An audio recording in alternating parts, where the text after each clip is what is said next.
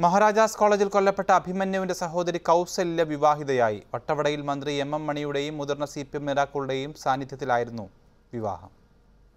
അഭിമന്യു സ്വപ്നം കണ്ട പോലൊരു വിവാഹം വട്ടവടക്കാർ യാഥാർത്ഥ്യമാക്കി. പത്ത് മുപ്പതിന്റെ ശുഭമുഹൂർത്തത്തിൽ കോവിലൂർ സ്വദേശി മധുസൂദനൻ കൗസല്യയുടെ കഴുത്തിൽ താലി ചാർത്തി.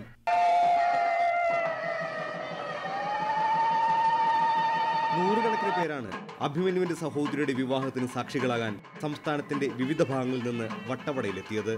നല്ല സന്തോഷമാണ്. ഇതേക്കുറിച്ച് നല്ല സന്തോഷം. ഓണത്തിന് മുമ്പ് നടത്താനിരുന്ന വിവാഹം അഭിമന്യുവിന്റെ മരണത്തോടെ നീട്ടിവെക്കുകയായിരുന്നു. വരൻ മധുസൂദനൻ കോവിലൂരിൽ ജീപ്പ് ഡ്രൈവറാണ്. എല്ലാവരും വന്നതിൽ അതി ഒത്തിരി സന്തോഷം.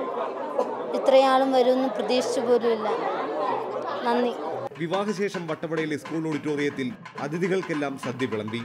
സി പി എം ആണ് വിവാഹ ചെലവുകളെല്ലാം വഹിച്ചത് സി പി എം അഭിമന്യുവിന്റെ കുടുംബത്തിന് വട്ടവടയിൽ നിർമ്മിച്ചു നൽകുന്ന വീടിന്റെ പണികൾ അവസാന ഘട്ടത്തിലാണ്. ഏഷ്യാനെറ്റ് ന്യൂസ് ഇടുക്കി.